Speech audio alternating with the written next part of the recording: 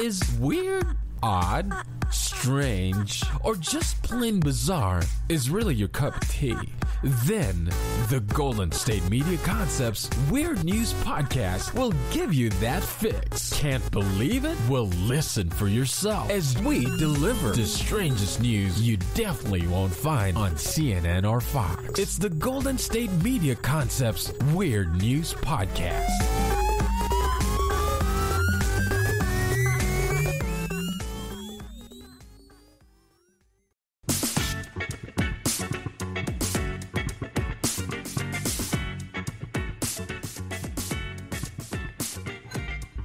Welcome to the GSMC Weird News Podcast, brought to you by the GSMC Podcast Network. I am your host, Clutch Caleb, and today we will be talking all about crimes for about the first half of the show, which involves 200 half naked inmates escaping a jail in Uganda, as well as a man who fell asleep while committing theft. That one sounds like a classic. There's also one about a man who fled a police traffic stop, leaving behind his winning lottery ticket and about a half dozen more crime stories. Then we'll get into the basic weird news stories, including a space travel reality show, which is set to send contestants to the International Space Station in 2023.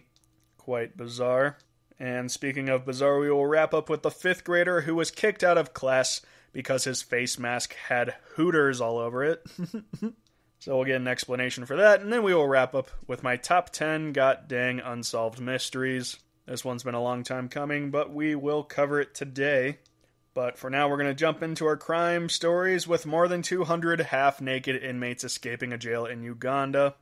Of course, Uganda's military and security forces have since been pursuing the group of 210 inmates. This all began with a jailbreak, and once all the prisoners escaped the prison, they stripped down half naked to avoid being identified as prisoners. They took off all their prison clothes. Since the escape, three of the escapees from the prison have been killed and seven have been detained. A senior military officer who was also killed in an exchange of fire at the prison in the foothills of Mount Moroto on Wednesday afternoon is just one of the lives that is likely to be endangered after all these escapees. The prisoners made their escape after breaking into an armory at the prison where 620 people were being held and taking the guns and ammunition before overpowering the prison warden. Quote, the army is in pursuit. According to Brig Flavia, the spokeswoman for the Uganda People's Defense Force, quote, they remove all their uniforms because the yellow color was giving them away. These are warriors. They are used to the bush. They know how to run. They know the area and terrain very well. they know the bush. Frank Baine, a prisoner's service spokesman, described the jailbreak as one of the rarest cases of its kind. Among the escapees were prisoners considered dangerous and jailed for involvement in deadly armed cattle raids across Karamoja, which we covered in a previous episode. Apparently, these people just go from farm to farm, stealing cattle and selling them back to other farmers they stole cattle from. The prison service spokesman goes on to say, quote, The pursuit is going on, but of course those are warriors on their home ground. They know all the tactics about the army scattering, hiding, stripping, and the like. I like how uh, stripping is traditional on these prisoners' home ground. Quote, the moment they got out of the prison, they ran into different directions, but most of them were heading for Mount Moroto, where it is almost a no man's land and they can move without being intercepted. The incident in Uganda is the third prisoner escape since the coronavirus outbreak began last March. In other cases, fears of contracting the virus in camped jails spurred inmates, as well as their efforts to break out and at least three cases of the coronavirus have been reported in Ugandan jails. It's unclear how many are actually infected, as the testing resources have not been delegated to the prisoners themselves and rather the people of Uganda. The total number of inmates in Uganda rose about 10% to 65,000 in the five months between March and August, according to the prisons service a surge attributed to a large number of people apprehended for violations of various anti coronavirus measures, such as curfews and travel restrictions. That is miserable. going to prison for breaking a curfew. The prison spokeswoman said a helicopter was, quote, waiting to be called in to a fire when it was called back to tame the prisoners. If necessary, the same helicopter will be called to fire upon the prisoners. The Army is doing what it can and its best to make sure these people are all arrested, and we are sure we shall.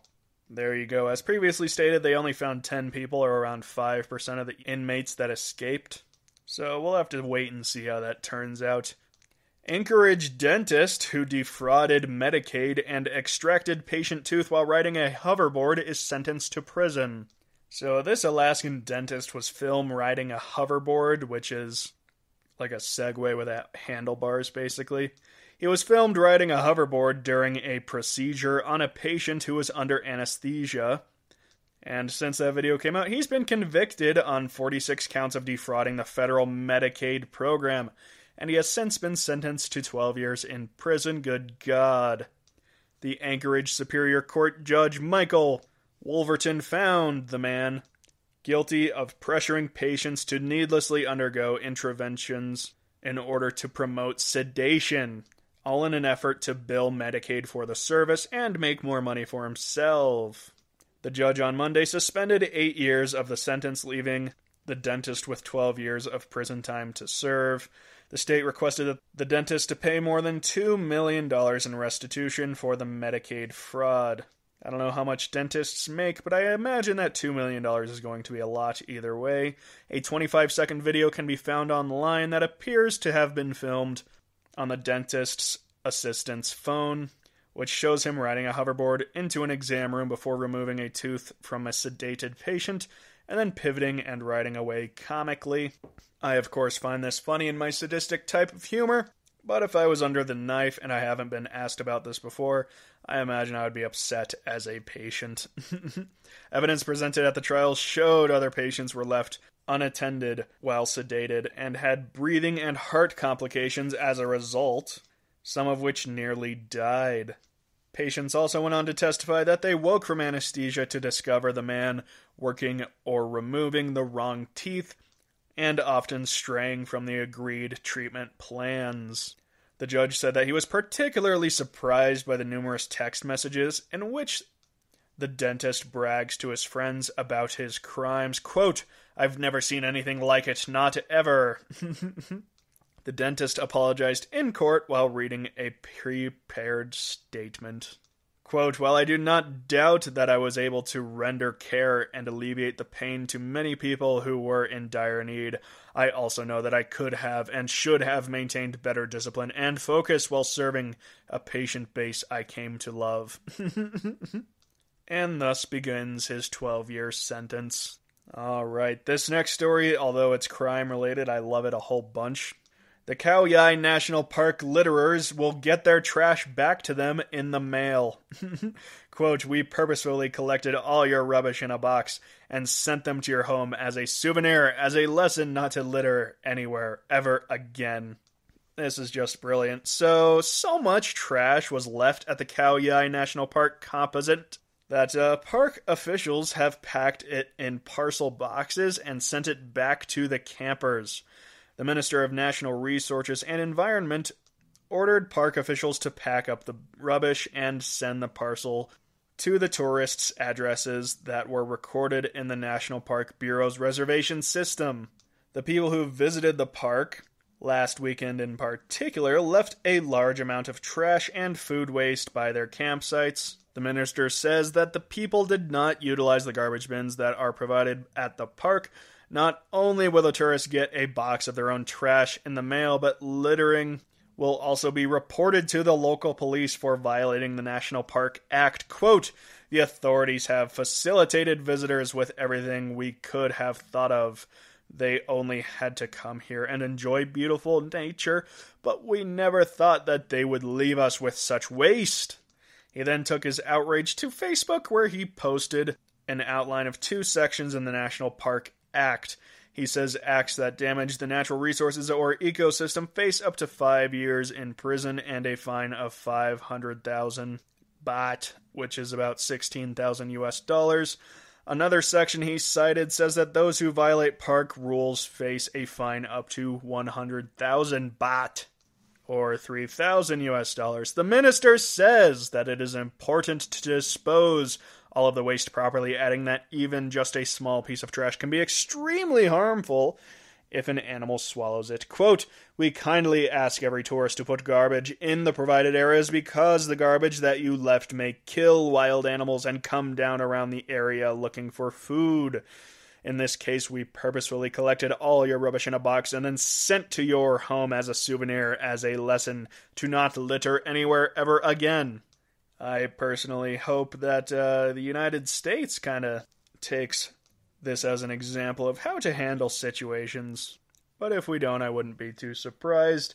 Next story a man discovers a brain washed ashore on the beach. it's said that the man went to the beach to find some piece of thought, but he got quite the opposite when he discovered what seemed to be a brain that had washed ashore. Native authorities are attempting to determine who or what the brain came from. Quote, it didn't register as a human brain. I was just like, what is this? According to the 47 year old who found the brain. He went on to mention that he regularly searches close by the seashores for gadgets equivalent to sea glass in order to include in his sculptures because he is an artist. Way to go, man. Way to plug yourself in a news report. My guess is he was the one who put the brain there. but hey, marketing is a brutal business. So, he was understandably intrigued after coming upon a package deal wrapped in aluminum foil fixed by a pink rubber band, whereas he found the brain. Quote, curiosity got to me, so I popped it open and looked at it, and it appeared to be a chicken breast. he goes on to say, it took a little bit for it to really register what was going on. It was a brain. Also, with the parcel have been flowers and Chinese money. the man said he was so flabbergasted by the weird discovery that he requested some close by Metropolis workers for a second opinion. Quote, they're like, yeah, that's a brain. and of course, as all excellent stories go, this got a lot of traction on social media. On Facebook, it sort of blew up. One comment said, quote, just when you thought 2020 couldn't get more effed up. Another one said, what kind of ritual were they trying to do? But of course, more importantly, are the internet skeptics, many of which are saying that it's a pig brain due to its size. Another one who scoffed, quote, yeah, why wouldn't you say what the police said? It's obviously not a full grown human brain. Now the tests have come back, and it turns out the internet skeptics were right, as they always are. This was not a human brain. It is, in fact, undetermined, but not a human one. Alright, next story. A burglar falls asleep in an AC room while committing theft, and he wakes up as the cops are arresting him. So, this 21 year old man who attempted to rob a house fell asleep under the bed of the owner in the middle of the night and eventually was arrested before he woke up. It is said that the man carefully observed the daily whereabouts of the house before he robbed it, and apparently he knew exactly where the man kept his money, where he fell asleep, as well as what hours he went to work. So at 4 a.m., he entered the unlocked house and stepped inside the bedroom where the owner of the house was fast asleep. And where is the brilliant hiding space for the money of the man who owned the house? Why, it's on his bedside table. so the robber walked up to his bedside table and grabbed some cash. However, while unable to resist the temptation of a cool room, the exhausted burglar curled up under the man's bed and dozed off for several hours. The man who owns the house said that he woke up to hear snoring, and so he quickly tiptoed out of his room and called the cops. Once the police stormed inside the room, the burglar freaked out. Quote, he told us that he was tired, and since the air conditioner was also on, he couldn't resist the sleep. and although he failed to commit the crime, he is being arrested for attempting to steal. Sad, sad, so sad. Stay tuned to the next segment where we will continue talking about crime related weird news stories, including a man who fled a police traffic stop, leaving behind his winning lottery ticket. Stay tuned for that and more. Check out the show built around the women of MMA. From the UFC to the extreme cage fighting, we got the fights covered. Listen. It's the Golden State Media Concepts Women's MMA Podcast. The latest news of upcoming fights, discussions of previous matches. Join us as we talk to and about the biggest names in women's mixed martial arts, past, present, and future. When it's the women's fight game, you know where to listen to the Golden State Media Concepts Women's MMA Podcast.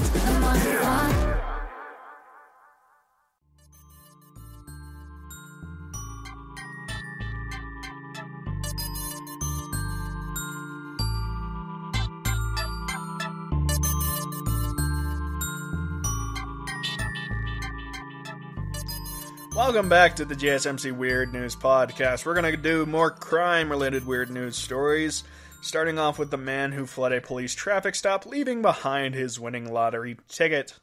This occurred in a traffic stop in Georgia. The Cherokee County Sheriff's Office said deputies were on Interstate 75 last Monday when they spotted a car with a tag violation.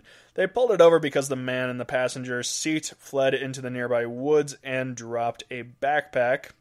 Quote, inside that backpack was a laptop, a small amount of methamphetamine, and a winning lottery ticket, the amount of which they are not allowed to disclose. In a Facebook post, the sheriff's department congratulated the suspect for winning the lottery ticket, and they even invited him to come and claim it, which would have made the thing much funnier if he did. But unfortunately, he did not, as he would end up in Cherokee County Jail. Quote To the suspect who ran out on foot from our deputies on a traffic stop this morning on I 75, you left a winning $100 lottery ticket in your vehicle. You can claim your lottery ticket at 498 Chattin Drive in Canton. It will be here waiting for you. Congratulations, by the way. Shortly afterward, deputies took the man into custody and he was charged with possession of methamphetamine and obstruction. Quote, when he bonds out of jail or gets done with these charges, we'll certainly return that lottery ticket, but we're keeping the methamphetamine. Silly cops, the hundred dollars can buy them even more meth. Okay, next story. a man uses a live snake as a face mask while boarding a bus in England. The unidentified man was taking the bus from Swinton to Manchester last Monday with the snake wrapped around his neck when another passenger snapped a photo of the bizarre moment. Of course, you can go online and take a look at these photos but I can assure you it looks just like a man with a snake wrapped around his mouth and nose. A passenger who wished to remain anonymous said she first believed the man was only wearing a quote funky mask until the reptile started slithering over the handrails. yeah, that's at least unorthodox, I'd say. And the woman thought so too. She said that she found the incident, quote, really funny, and the other passengers didn't seem bothered by the serpent. Quote, no one batted an eyelid. However, authorities said that the snake is not proper face covering during the COVID 19 pandemic. I love it when people take something ridiculous seriously. Quote Government guidance clearly states that this needn't be a surgical mask and that passengers can make their own or wear something suitable, such as a scarf or bandana. However, this snake is not a proper face covering during the COVID 19 pandemic. They go on to say, quote, While there is a small degree of interpretation that can be implied to this, we do not believe it extends to the use of a snake skin, especially when it's still attached to a snake. At least they have a bit of humor about them. In England, face masks are required on public transportation, such as planes, trains, and other automobiles, in an attempt to curb the spread of coronavirus. The man using a snake is still unidentified, but to losers like me, he will still be a hero. Next story Americans will spend $60 billion on illegal marijuana this year. so, a study estimates that between 12 and 14% of adult Americans enjoy weed. That's a massive group of consumers, according to the industry experts. And apparently, they spend billions of dollars every year on marijuana. Unfortunately, however, according to a new report, more than 71% of that spending goes to the illegal market due to various forms of cannabis prohibition enforced in 39 states. A new report using data from New Frontiers Data, U.S. Cannabis Report, notes that American illicit market encompasses roughly $60 billion in annual sales, which compares to around 23 billion in illegal medical and adult use cannabis sales. State legal cannabis sales figures are often disputed as there is no government tally on the federally prohibited products. Leafly 2020 jobs report estimates the size of the legal American cannabis market at around 14 billion or one fourth of the illegal total. When it comes to states, Texas leads all non legal use in its purchases. The report estimates that the Lone Star State accounts for 7% of all illegal cannabis sales in the United States, which is roughly $4.2 billion, or more than three times the size of Colorado's legal market. Oh, they're embarrassing my home state. Next on the list is North Carolina, Georgia, Virginia, and Indiana, which each account for roughly 3% of the nation's illegal sales. The illicit market is about 2.5 times the state legal market.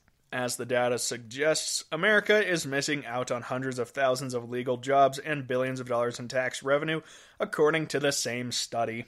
Now, I must admit, I think it's kind of funny that they're arguing that uh, the reason weed should be legal is because of taxes.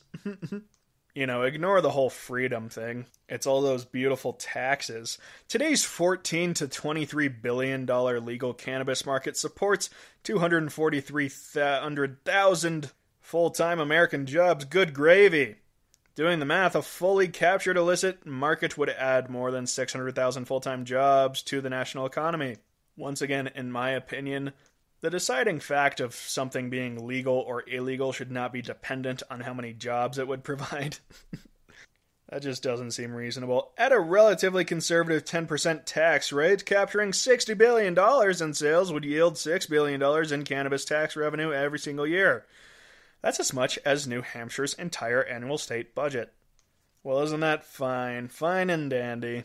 All right, let's see if I have another crime story. I do. A Canada Tesla driver is charged by napping while speeding. Police say that both seats of the Tesla were fully reclined and the driver and passenger were apparently both asleep when they were alerted to the incident in Alberta, Canada. When the police turned on their emergency lights and other vehicles moved out of the way, the Tesla Model S sped up.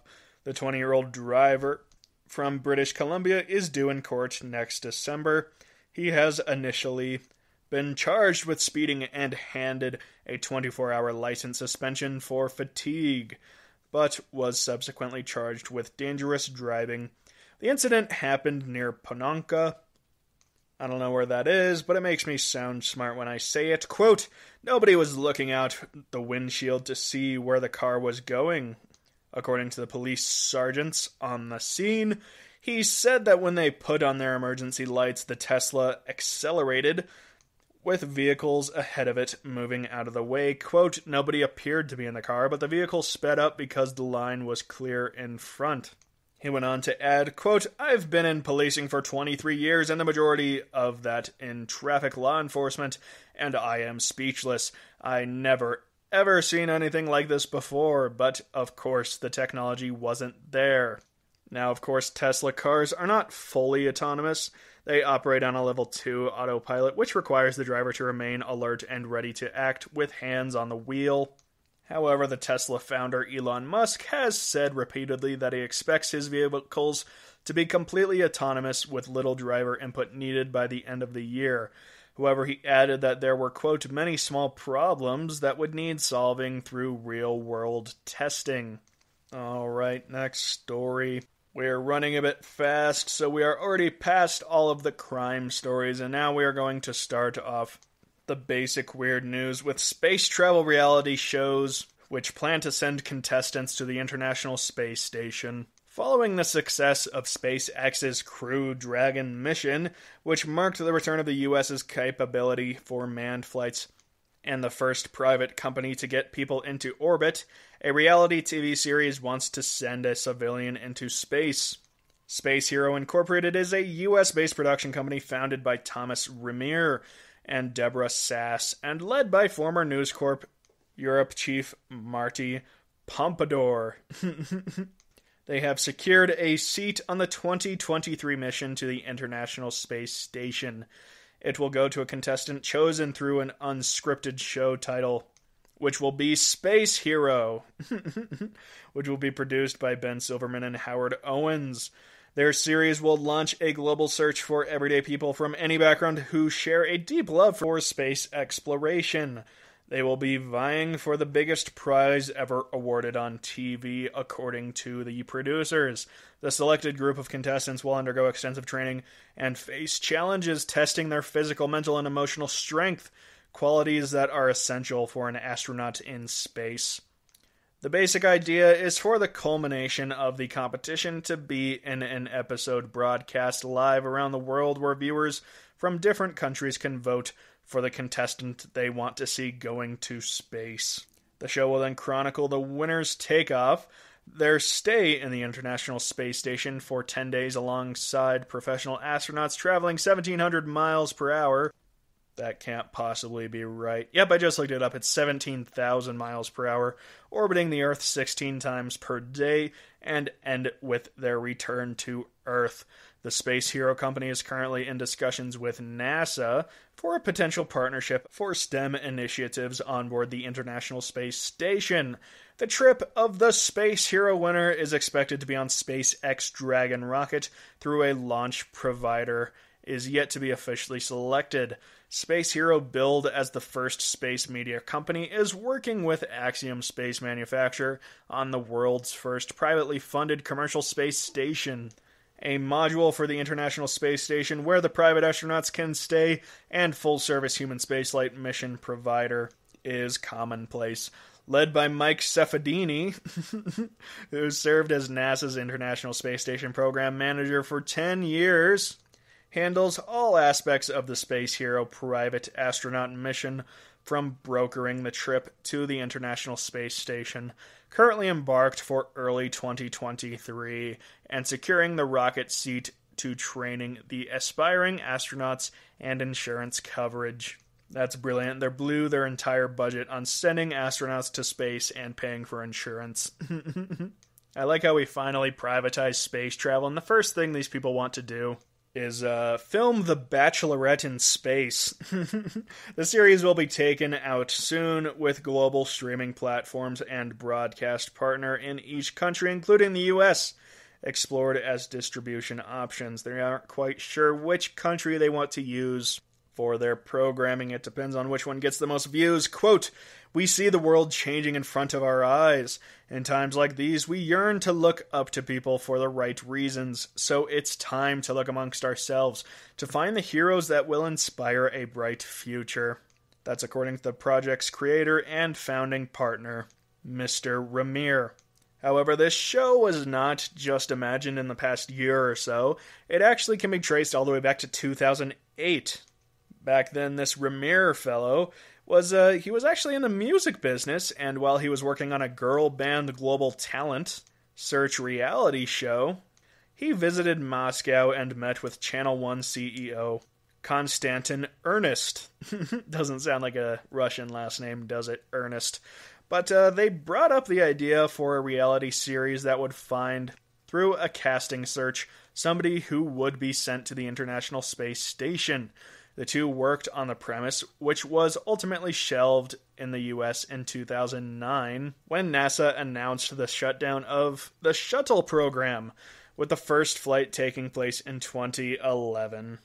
Years later, Ramir and Sass, a seasoned entertainment tech industry executive, had teamed on a project together after getting to know each other over the work in the same area of music and tech convergence. Good God, that was boring. I'm sorry I read that all to you. Quote When 2015 came, it became clear that there would be more than just one rocket company available. At that moment, it was only the Russians flying to the ISS, but in 2015, SpaceX Boeing were gearing up to bring people back to the ISS from the United States as well. And so it became clear that there will be access capacity for those tickets I talked to Debs about it, and she said, quote, Why don't you bring the show back again? they could make a TV show about making this TV show, but I'm kind of exhausted with this story, so we're going to go ahead and go to a break. When we come back, we'll go through a few more weird news stories before we get to my top 10 unsolved mysteries. So stay tuned for all of that.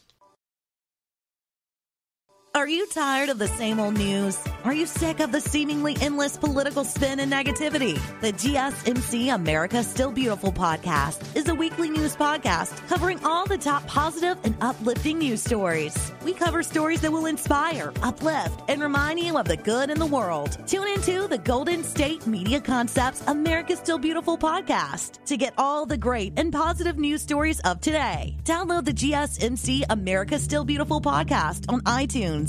Stitcher, SoundCloud, Google Play, or anywhere you find podcasts. Just type GSMC in the search bar.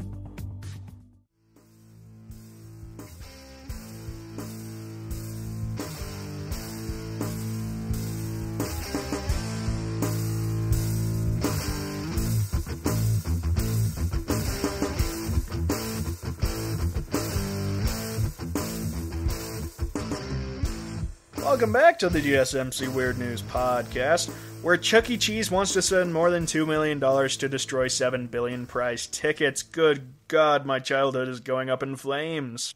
So, for reference, 7 billion prize tickets is, uh, is actually enough to fill approximately 65 40 foot cargo shipping containers. That's how many tickets they're looking to destroy. And uh, I know that sounds like a lot, but I still don't see why that should cost $2 million. Earlier this year, however, CEC Entertainment Incorporated, the owner of the pizza company, filed for Chapter 11 bankruptcy. And as a result, last Monday, the CEC Entertainment Inc. filed a motion in the United States Bankruptcy Court for the Southern District of Texas to destroy every single remaining ticket.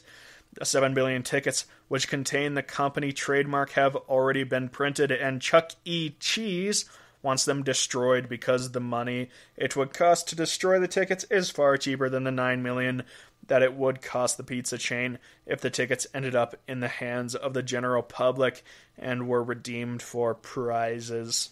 How could it end up in the hands of the public unless you give it to the public, though? They should just buy a few acres of land and dump all the containers on there. Then throw up a slide and some monkey bars, add a sign that says Chuck E. Cheese National Park, and by God, you have a grave site for the great franchise. Chuck E. Cheese said that it has reached spirit settlements with three different companies to destroy the tickets. they have so many prize tickets, they need three companies to destroy them. Eastern Trading LLC, Supply Chain Engineering, and Performance Food Group. Each of these companies is either as a manufacturer or a distributor of these tickets, and Chuck E. Cheese is now turning to e tickets due to what it is saying the industry's rapid move towards contactless service due to COVID 19. And it notes that it will also eliminate future costs with the move. Quote, as a result of the unprecedented and rapid fall off in sales after resulting decline in the debtors, use of the prize tickets caused by the COVID 19 pandemic, the debtors' need for prize tickets dramatically diminished, causing buildup of prize tickets at various stages throughout the debtors' supply chain. These are very big words for the kind of people who follow Chuck E. Cheese. Throughout the distributor's supply chain, as the debtors had placed orders and planned for ticket prize utilization on historic run rates based on pre COVID 19 levels. The company said in court documents, quote, this issue was further advanced as a result of the debtor's need to accelerate the implementation of electronic tickets, e tickets, and discontinue use of paper sized tickets at all company owned Chuck E. Cheese entertainment venues. I like how they call it an entertainment venue as though it's a strip club or something. Eastern Trading, PFG, and SCE reached separate agreements with the pizza maker for a combined $2,280,342.97 to destroy the tickets. While Chuck E. Cheese is discontinuing the use of paper tickets, it will continue to honor all tickets currently in circulation and held by customers as they are, quote, a valid currency in the Chuck E. Cheese empire. An emergency telephonic hearing will take place on the matter on Monday. Chuck E. Cheese has a location at the Union Square Shopping Center on Union Deposit Road in Squaresman Township, which will be the last remaining Chuck E. Cheese where you can cash your tickets at. Swell. Isn't that swell? Alright, the next story. This is one of those stories that's not really the best story in the world, but the title alone makes it so I have to read it on this podcast. Quote This Chinese cockroach farm houses a billion roaches kept contained by a moat filled with hungry fish. Brilliant. For a final assignment to cap a five year posting to China, correspondent Bill Birtles visited a cockroach farm surrounded by a moat. The man said, quote, I'm standing in the dark, sweating profusely as the rain like sound of millions of cockroaches eating fills the silence. It's a peaceful ambiance that will go well on those calming sleep apps. Everything else about the situation would probably keep people awake, however, as around the walls, the ceiling, and the floors, cockroaches large and small scurry about, scattering whenever my cameraman Steve points his camera light at them. End quote. So this is said to be the largest roach nest, as though that's something to uh, to praise. Four industrial sized hangars packed with rows of the elaborate pipe systems that pump food waste collected from restaurants onto the shelves for the roaches to eat. The lights are off, the temperature is maintained in the high 20s, and humidity is stifling. That's 20 degrees Celsius, of course. We have 60 small rooms. This is according to the farm owners. We have 60 small rooms. There are 20 million cockroaches in each room. In total, there are about 1 billion cockroaches. And every day they will eat 50 tons of kitchen waste. These farms are very popular in China. And while a massively large facility in southwest China, run by a company called Good Doctor, grinds up billions of roaches each year for use in Chinese medicine. These projects mainly use them for animal feed. Quote, if we farm cockroaches on a large scale, we can provide protein that benefits the entire ecological cycle. That is according to the head of the project, who goes on to say, quote, we can replace animal feed filled with antibiotics and instead supply organic feed, which is good for the animals and the ground soil. This started as an experiment to deal with food waste, which has blossomed into a commercial operation, although the project lead admits that it's still early days and unclear if it will be profitable in the long term. But the sprawling fields around the cockroach farm already have pigs, ducks, chickens, and goats that are feeding on the nutrient rich cockroach mix. More importantly, however, because it's funny, a moat around each hangar is filled with rapacious fish hooked on the taste of cockroach. It's kind of sad. All these cockroaches live crammed on an island and they're surrounded by monstrous beasts that can eat them if they try to escape. Quote, they help to ensure the billion or so cockroaches inside don't break out and wreak havoc on the fields nearby. Now, this article actually continues, and they go into how cockroaches are not actually household pets and that they're incredibly helpful for the ecosystem. But I do not care about that, so we're going to go ahead and skip all of it. If you want to go and Google that, you can. not sure if you want that on your search history or not. A quick follow up on a story we had a while ago the Tennessee tiger sightings. If you remember a few weeks ago, a bunch of people sighted a tiger in Tennessee, several of which were cops, is uh, actually not a tiger at all. It was, in fact, a bobcat, which makes me incredibly upset. How could you not tell the difference between a tiger and a bobcat? I do not know. Quote, taking everything into consideration, the lack of new sightings and the conditions the first sighting was reported in, it seemed highly unlikely that there was a big non native cat on the loose. So that's just a, uh, a quick follow up on a story we had a week or two ago. Of course, it ends as everything ends in a disappointing way. All right, we have two more stories before I get to my top 10 unsolved mysteries. Let's knock these ones out. The living coffin uses mushrooms to compost dead bodies. Beautiful, my kind of story. For tens of thousands of years, humans have developed funeral rites and burial practices that reflected the attitudes of their particular time and place. These traditions of honoring the dead continue to evolve into the 21st century as people seek quote, green burials that are more environmentally friendly than standard coffins. I'm not sure why coffins are not environmentally friendly. I mean, they're made of wood, aren't they? I don't know, I'm probably just stupid.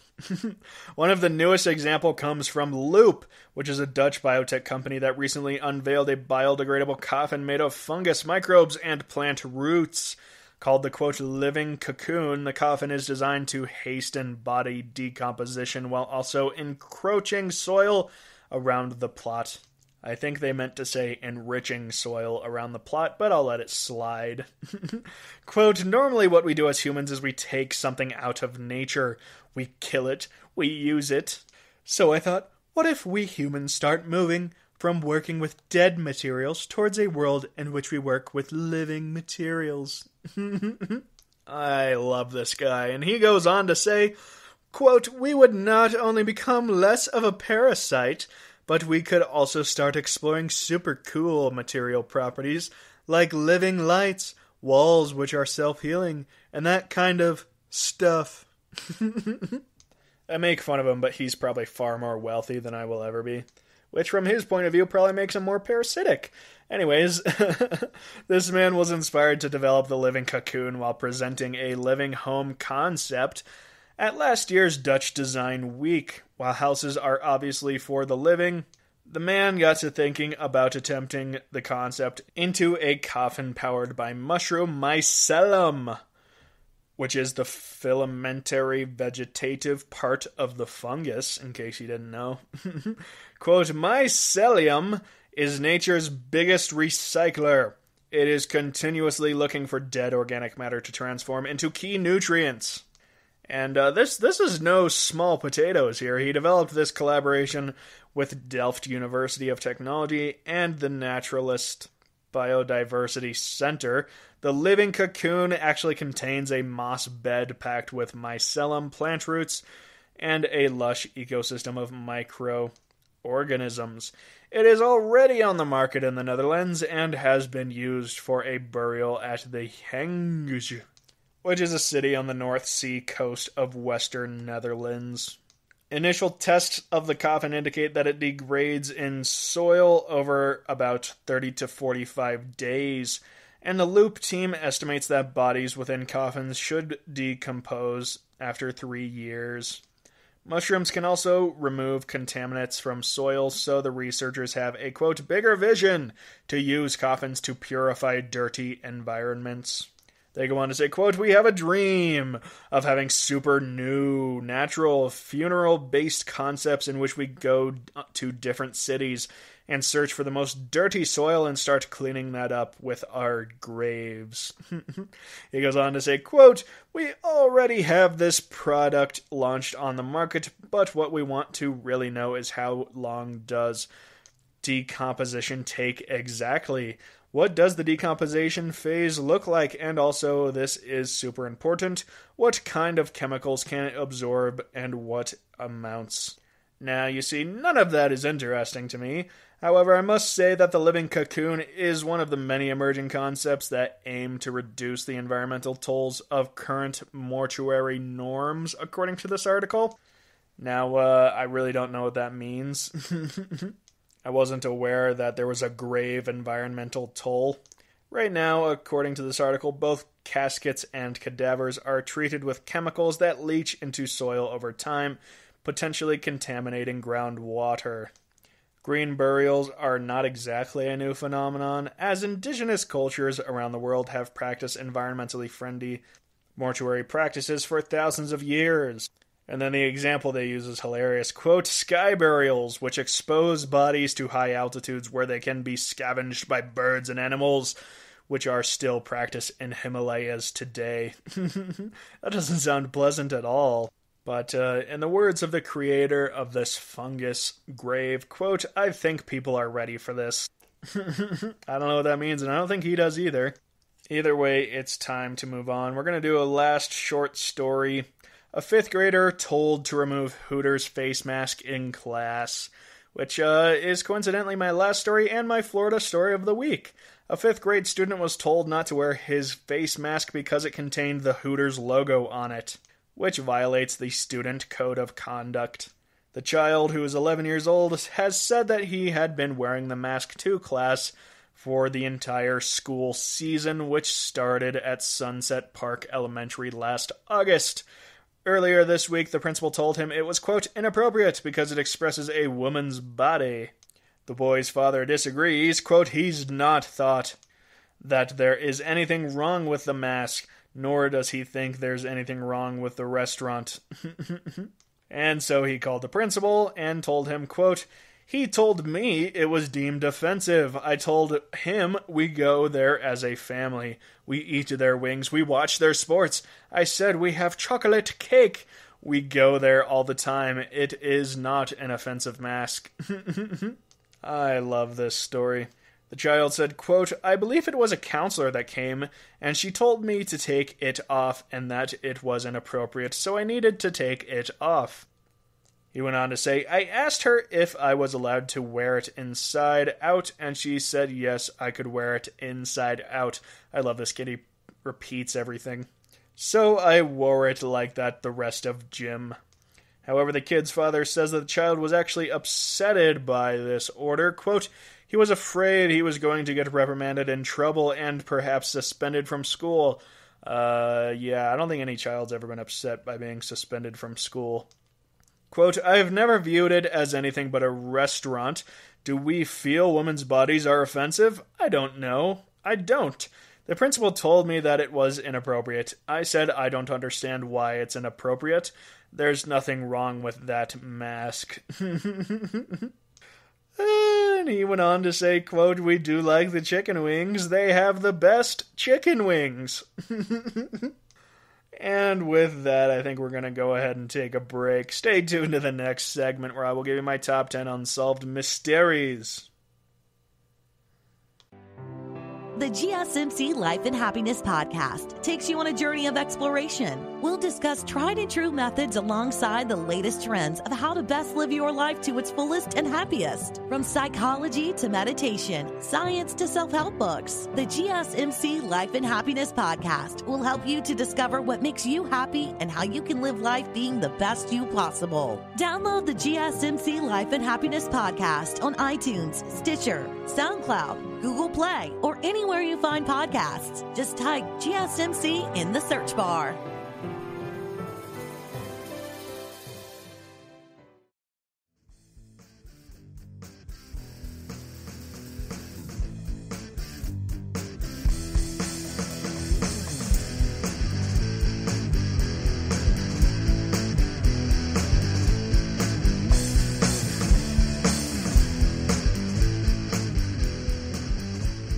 Welcome back to the top 10 unsolved mysteries on the GSMC Weird News podcast. Number 10.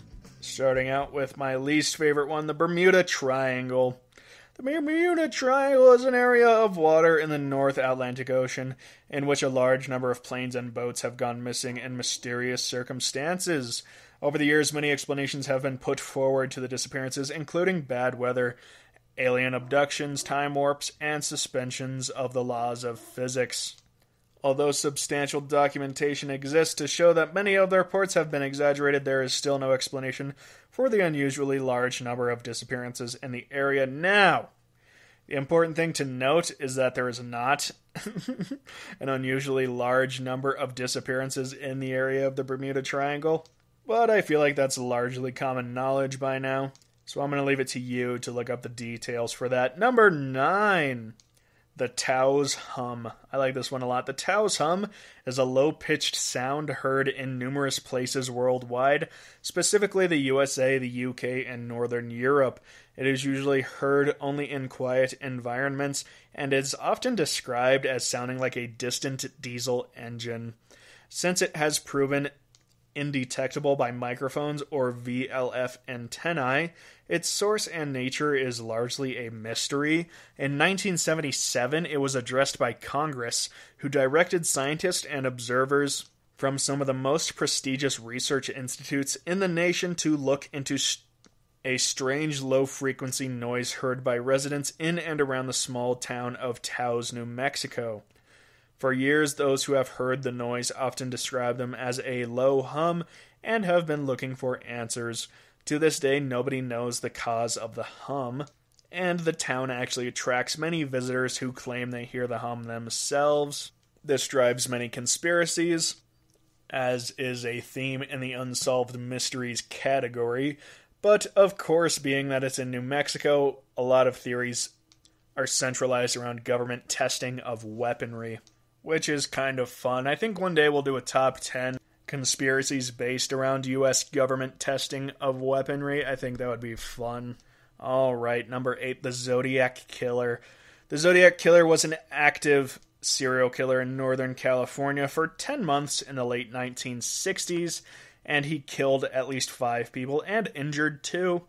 He committed the first two murders with a pistol just inside the Benicia border. In his second shooting in Vallejo, he attempted to kill two people, but one survived despite gunshots to the head and neck. Yeah, I remember that part of the movie. 40 minutes later, the police received an anonymous phone call from a man claiming to be their killer. He admitted to the murders of the previous two victims. One month, three letters were sent to newspapers in California containing a cipher that the killer claimed would give them his name. The cipher was decrypted to read, quote, I like killing people because it's so much fun. It is more fun than killing wild game in the forest because man is the most dangerous animal of all to kill. There are a lot of misspellings, so I'm going to actually read them like they're spelled. It goes on to say, quote, Something gives me the most thrilling experience. It is even better than getting your rocks off with a girl. The best part of it is when they, when I will be reborn in paradise and I will have killed, will become my slaves. I will not give you my name because you will try to me down or atop my collage of slaves for my afterlife. Iberometamapapatipiti. the last 18 letters have not been decrypted yet. However, the man Arthur Leigh Allen is the prime suspect. All of the evidence was against him being the killer, unfortunately, and to this day the Zodiac murders have not been solved.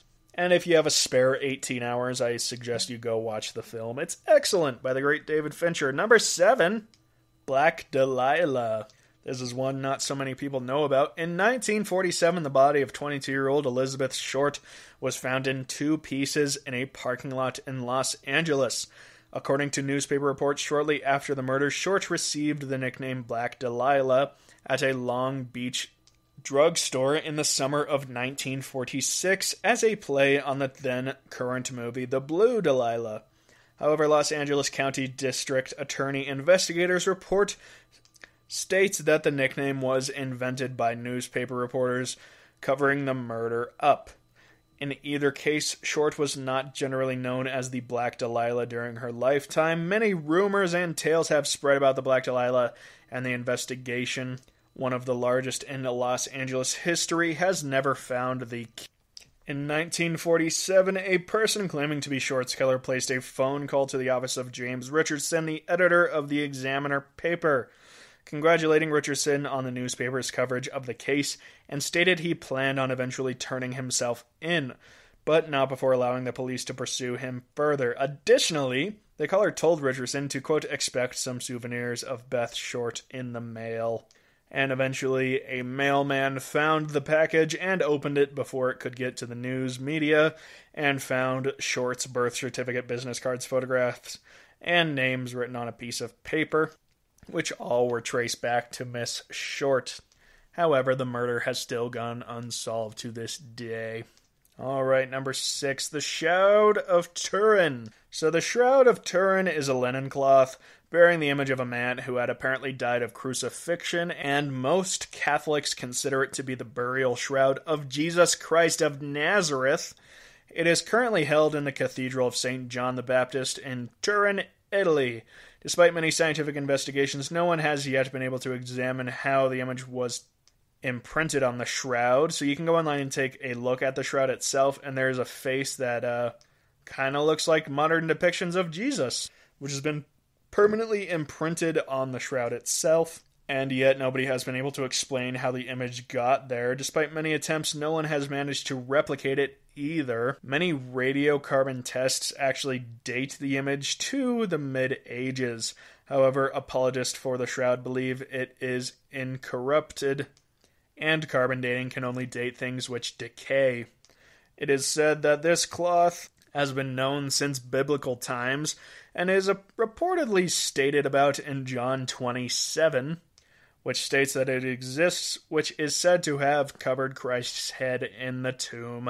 A 1999 study by Mark Guscin, a member of the multidisciplinary investigation team of the Swedish Center of Syndiology, that is quite the title, investigated the relationship between the two cloths and based on history, forensic pathology, blood chemistry, and stain patterns, he concluded that the two cloths covered the same head in two distinct but close moments of time.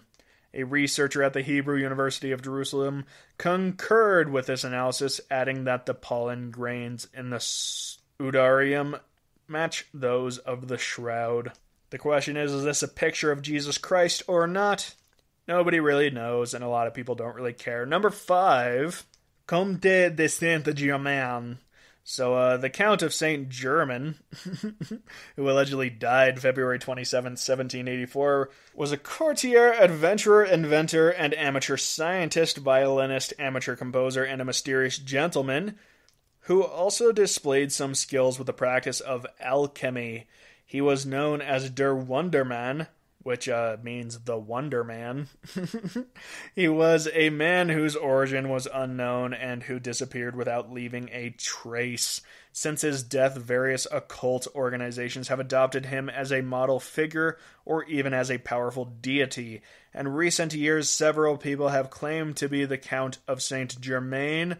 Note that the Saint Germain was never regarded as a saint by the Roman Catholic Church. In fact, he is not highly regarded in those circles, and his death still remains a mystery. If he died at all, maybe he kept himself alive forever using alchemy. You know, Xerxes style, Philosopher's Stone, equivalent exchange, all that nonsense. Alright, number four. Let's go with the babushka lady. So, during the analysis of the film footage of the assassination of JFK, that's John F. Kennedy, in the 1963, a mysterious woman was spotted. I'm gonna be honest, the evidence so far is pretty weak. She was wearing a brown overcoat and a scarf on her head. The scarf is the reason for her nickname, as she wore it in a similar style to Russian grandmothers, also called babushkas. The woman appeared to be holding something in front of her face, which is believed to be a camera.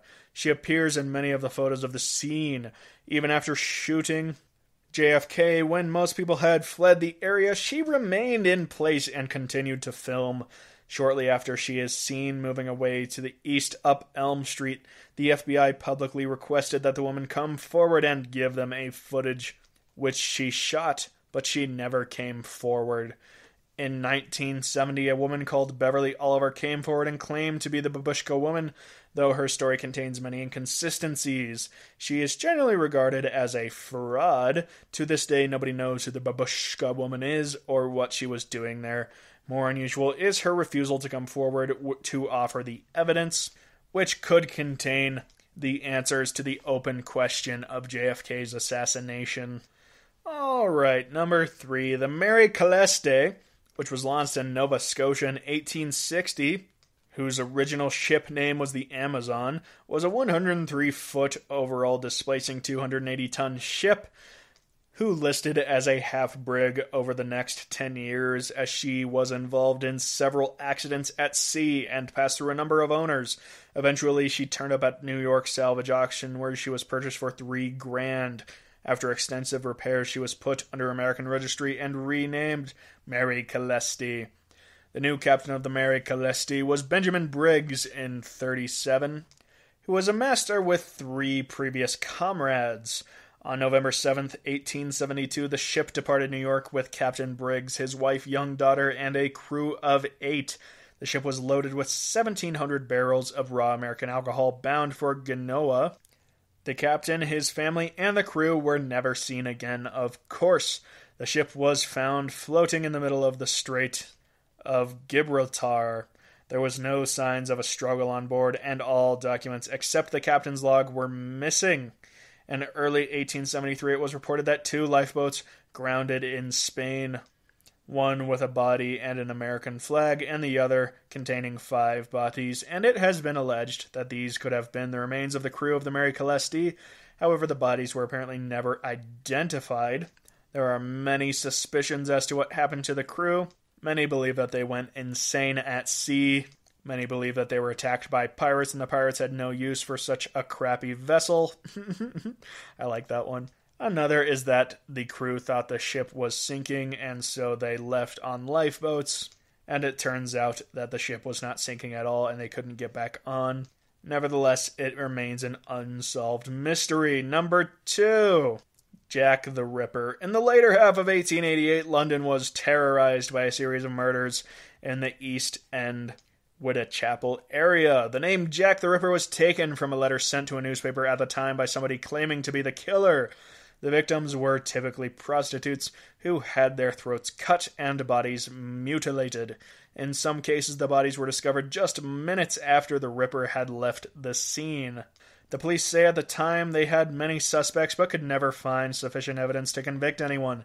In modern times, there has been some speculation that Prince Albert Victor was the murderer. Even with modern police methods, nobody further pursues the case, which has been shed on the murders in recent times. To this day, nobody knows who the Ripper was. Many people also believe that it was a man named William Gull. This is the one I like to believe because I read the comic book as a kid and I thought it was funny. it should be noted that that is largely dismissed by scholars. But it's kind of interesting because William Gull was an actual physician, and the basic rumor goes that since he was basically a surgeon, he would be most adept to serial killing in the fashion that the prostitutes were murdered, or he might have even trained the real Jack the Ripper. But we will likely never know. Number one. This is going to be a controversial pick. It's a personal pick, I'll admit. The Voynich Manuscripts.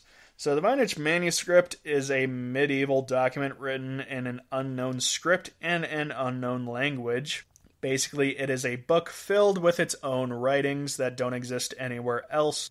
It looks like the text of a wizard from another planet. It's really cool. If you're a nerd like me, you can go online and actually look at pictures of it. Some of the art is really gorgeous and creepy at the same time. And for over 100 years, people have tried to break the code with uh, with no success at all. the overall impression given by the surviving leaves of the manuscript suggest that it was meant to serve as a pharmacopoeia, which is a book of medicine, or to address topics in medieval or early modern medicine. However, the puzzling details of illustrations have fueled many theories about the book's origins, the context of its text, and the purpose for which it was intended. The document contains illustrations that suggest the book is six parts herbal, astronomical, biological, cosmological, pharmaceutical, and recipes. Isn't that fun? What's really bizarre to me is that there's just entire chapters where it's seemingly random text with no flow whatsoever. So, just a really cool unsolved mystery to me. All right, but that's going to wrap up the weird news of the day. I'd like to thank you for listening to the GSMC Weird News Podcast brought to you by the GSMC Podcast Network. I will also ask that you go and subscribe to us and leave us a review. You can also follow us on Facebook and Twitter, and I will ask that you come again tomorrow. Thank you. Have a good night.